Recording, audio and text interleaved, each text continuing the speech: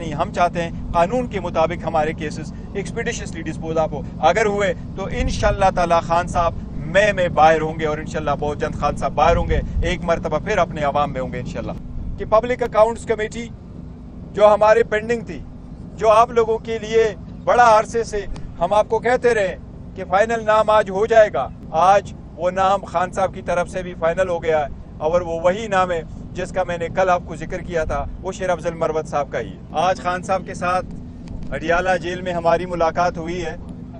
आज की मुलाकात, हमारी रूटीन ट्यूसडे वाली मुलाकात जो दो बजे हुआ करती है, वकीलों के लिए जो दिन मुख्त है, वही थी। इस मुलाकात में ये तय हो गया था जेल इंतज़ामिया के साथ। कि इसमें हमारे छः वकला मुलाकात करेंगे और उन्होंने अपनी तरफ़ से हमारे तरस्टे वाले दिन जो वकला साहिबान आया करते थे उस दिन को ख़त्म कर दिया था। आज रूटीन के मुताबिक जो हम हर मरतबा आपको शिकवा उनसे करके कह देते हैं या एहतजाज करते हैं, आज भी उसी तरह हुआ है। इंतज़ार पंजोता साहब, जो खान साहब के फोकल पर्सन है, और वो ही कम्युनिकेट करता है कि किन लोगों ने मुलाकात के लिए आना है इस दिन। कल की तरह आज भी इंतज़ार पंजोता को आने की इजाज़त नहीं दी गई, जिस पे खान साहब ने भी आज एहतजाज किया है। ये हमारा फोकल पर्सन है और हम हर सूरत आज मुलाकात उसका होना ज़रूरी था। दूसरी बात ये कि फोकल पर्सन के साथ साथ ये वकील है और वकील के तनाजुर से भी आज इसकी मुलाकात हर सूरत होनी थी। लेकिन उसके बजाय सिर्फ़ पाँच वकीलों को आज मिलने दिया। और रूटीन की तरह न पेपर जाने की इजाज़त और न ही आज किसी कलम और पेन की ले जाने की इजाज़त दी गई। आपके सामने एक बार फिर बताना चाहते हैं कि नेब, जिस केस में खान साहब को बन रखा है, जो बेसलेस केस है, जो पॉलिटिकल विक्टमाइजेशन है, जो नेब का इंटायर इदारा सिर्फ़ और सिर्फ़ इमरान खान साहब को सज़ा दिलवाने के लिए बैठा है, और हर किस्म का प्रेशर डलवाने के लिए बैठा है, और नेब इस्तेमाल हो रहा है। ये भी केस नेब का ही है, जिसमें खान साहब जेल में बंद है। नेब के केसेस सिर्फ़ हमारे खिलाफ है। नेब की सारा इंस्टीट्यूशन और फोर्स हमारे खिलाफ है, खान साहब के खिलाफ है। नवाज़ शरीफ को कुली चोट है। शबाज शरीफ को कुली चोट है। मरीम नवाज़ को कुली चोट है। जरदारी को खुली चोट है।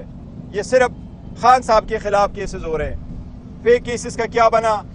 उसमें या तो इम्यूनिटी दी गई, या उसको पोस्टाल किया, या बेग बेंचर पे रख करके कभी उसका पता नहीं होगा क्या बना। एफ़ आई ए और नेब के केसेस जो शहबाज शरीफ के खिलाफ थे, वो ख़त्म हुए। आज तक वो लोग जिनके खिलाफ इंडाइट होना था, वो वज़ीर अजम बन गए, या वज़ीर अला बन गए। नवाज़ शरीफ को क्लीन चिट दिया गया। इस बात का दोबारा तस्कर आज खान साहब के साथ हुआ है और हम इस पर एहतजाज करते कि एक इदारा सिर्फ़ और सिर्फ़ खान साहब के खिलाफ है। वो बाकी सब कुछ छोड़ करके उसके मुखालिफिन शहबाज शरीफ और नवाज़ शरीफ को क्लीन चिट है और खान साहब के खिलाफ है। उसके साथ आज जो अहम और फैसले साथ साथ सियासी होने थे हम जो अलायंस के साथ एहतजाज करने जा रहे हैं, वो अलायंस का एहतजाज हमारा कंटिन्यू करेगा।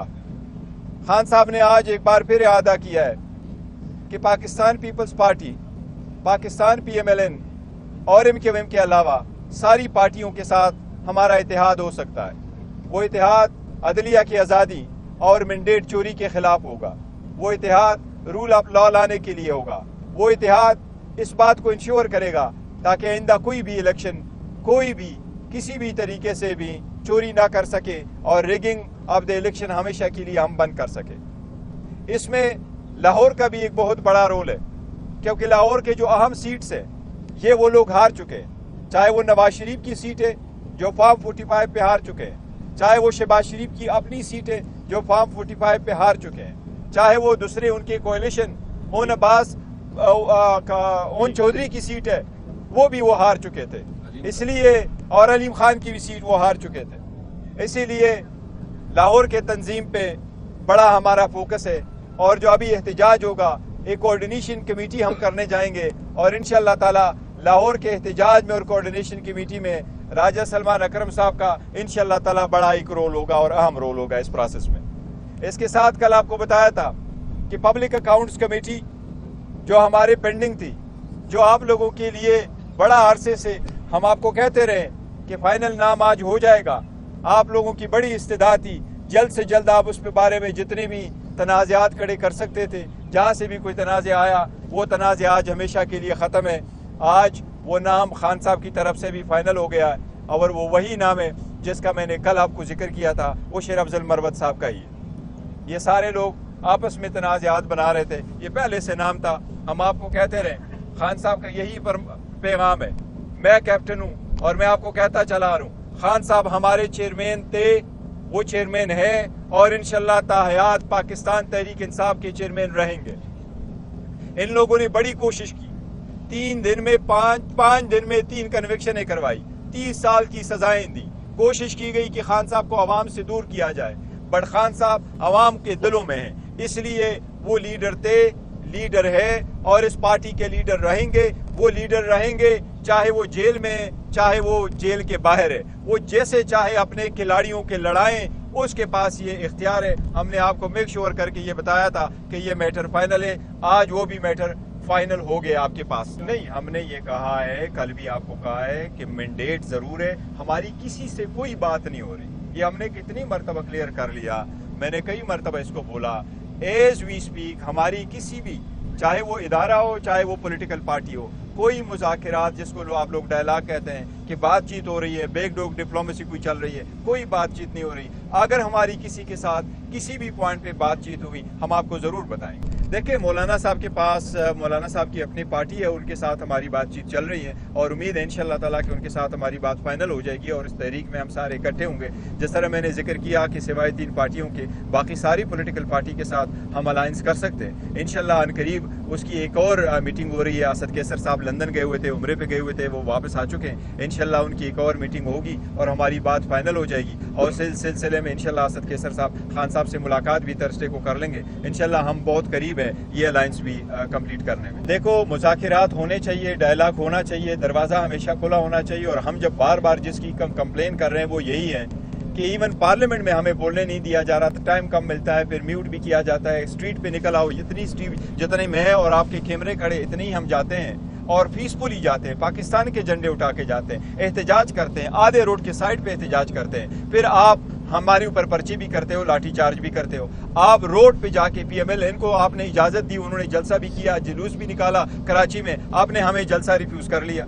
और फिर भी आप कहते हैं कि हम आपसे शिकवा ना करें, शिकायत ना करें, आपके खिलाफ एहतजाज ना करें। हम तो अपने हकूक के लिए निकले और हमारे पास जितने भी लोग निकलते हैं, वो सारी फैमिलीज़ निकलती है। तो हम कोशिश कर रहे हैं कि हम तरक्की की तरफ़ जाएँ, आगे की तरफ़ बढ़ें, लेकिन जो लोग हमें फिर भी रास्ते में रोक लेते हैं तो उनके खिलाफ क्या करें? हम एहतजाज ही कर सकते हैं। नहीं, देखो, मैंने पहले भी ज़िक्र किया है, पाकिस्तान तहरीक इंसाफ एक बड़ी डेमोक्रेटिक पार्टी है और हमारी कोर कमेटी, पॉलिटिकल कमेटी और बाकी कमेटी बल खुल करके वो एक वो बातचीत करते हैं। हमारे सारी सीनियर लीडरशिप जो 30 30 40 40 साल से पार्लियामान रह चुकी है, वो भी हमारे नए कमर के साथ, वो ऐसे ही बैठते हैं एज कि वो उनसे जूनियर हो। और हम बड़े खुले दिल के साथ एक दूसरे के साथ बात करते हैं, क्योंकि पाकिस्तान तरीके इंसाफ वाहिद पार्टी है, जिसमें ज़्यादातर फैमिलीज़ और ज़्यादातर यूथ और स्टूडेंट्स है। तो इसलिए हम समझते हैं कि सबको साथ बात करने की वो है, वो कुल की कर दी थी ऐसे बिल्कुल नहीं है, ये परसेप्शन अदरवाइज़ क्रिएट हो चुकी है। ये नहीं है, ये परसेप्शन ज़ायल होने चाहिए कि एक ग्रुप आ जाता है, वो खान साहब से कोई फैसला करता है। इतने बड़े फैसले हमने कर लिए हैं। चाहे वो इलेक्शन के थे, चाहे वो सीटों के थे, चाहे वो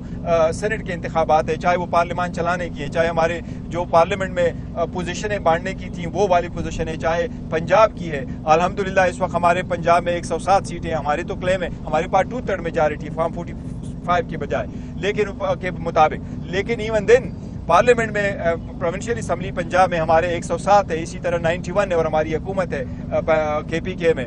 नेशनल असम्बली जिस तरीके से हम चला रहे और हमारे लीडर ऑफ़ द अपोजिशन जिसको मैं प्राइड ऑफ़ परफॉर्मेंस कह रहा हूँ, उमर अयूब खान साहब को, क्योंकि मेरी 20 साल गुजरा है वक्त इस्लामाबाद में और उसके 22 साल अल्हम्दुलिल्लाह पार्लियामेंट में हुए, बेहतरीन अंदाज से चला रहे हैं। तो ये सारे फैसले हमने ऐसे किए हैं, मशावरत के साथ किए कंसेंसस के साथ किए हैं, अपने ज़ाती मुफादात और दुश्मनी और इनात से बाला तर होकर के किए हैं। हमने अपने इंटरेस्ट का कभी परवाह नहीं किया और हमने कहा कि ये पार्टी के मुफाद बाला तर हो। और इसी को खान साहब की अप्रूवल और कंसेंट जब जब हासिल हुआ है, वो हमने फैसला आज किया है। आप सब लोगों का बहुत शुक्रिया। जी।